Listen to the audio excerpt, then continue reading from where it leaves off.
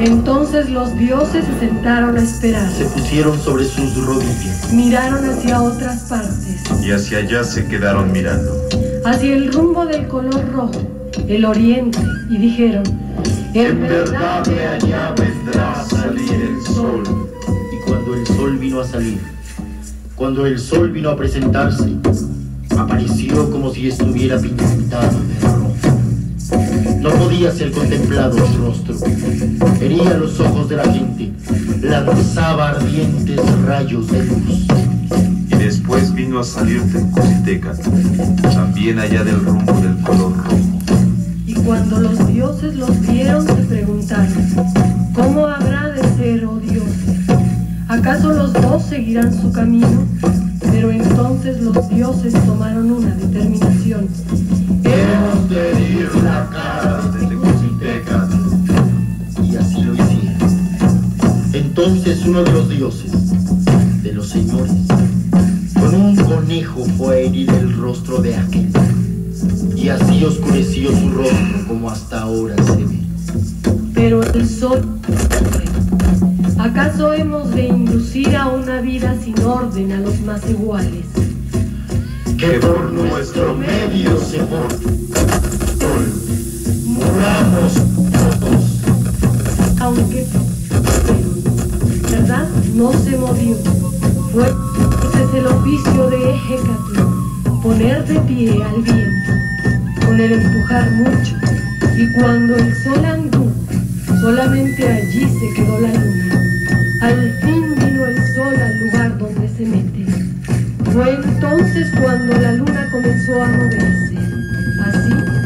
allí se separaron y cada uno siguió su camino. Así decían nuestros padres, nuestros abuelos. Decían que así nos creó.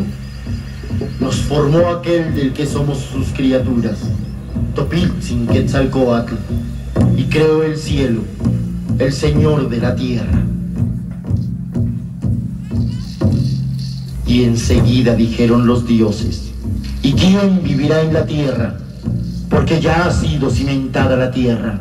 Oh dioses, estaban afligidos Citlanicue, Citlaltonac, Apantecutli, Tepanquistli, Quetzalcoatl y Tezcatlipoca. Y fue nuevamente Quetzalcoatl el que tomó para sí la misión. Y luego fue Quetzalcoatl al Mictlán, acompañado de su nahual, Xolotl. Y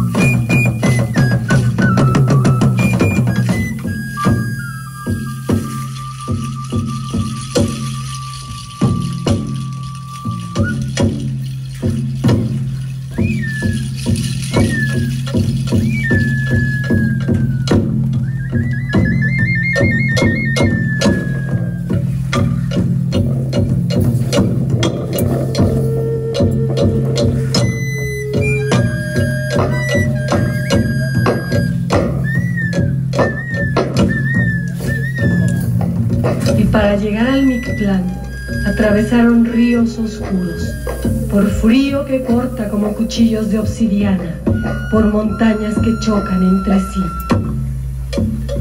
Mictlán Tecutli es poderoso y reina en la mansión de los muertos.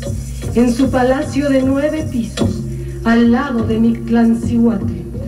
El lugar de los despojados de su carne, el reino del misterio.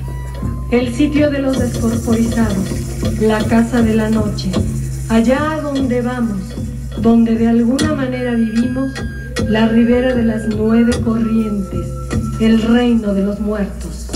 Vosotros sabéis tanto como yo. Una sola vez pasa nuestra vida y en un día nos vamos. En una noche somos el reino de los muertos. Ay, aquí solo hemos venido a conocernos. Solamente tenemos el préstamo en la tierra. Vivamos así en paz. Vivamos en concordia. Venid y ya gocemos. Vengan a hacerlo. Esos mismos que andan airados, ya se refrenen sus iras aquí. Que viviera siempre, que nunca muriera. Hasta el fin nos hostigan, nos acechan aquí. Hasta el fin somos desdichados y que sigan sufriendo. Que viviera para siempre, que nunca muriera. Y cuando llegó al Mictlán, se acercó a Mictlantecutli y Mictlancíhuatl, y enseguida dijo, Vengo por los huesos preciosos que tú guardas. Vengo a tomarlos.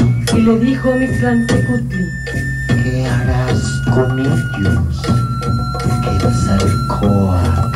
Y una vez más dijo este, Los dioses se preocupan por que alguien viva en la tierra. Está bien. Haz sonar mi caracol y da vueltas cuatro veces alrededor de mi círculo precioso.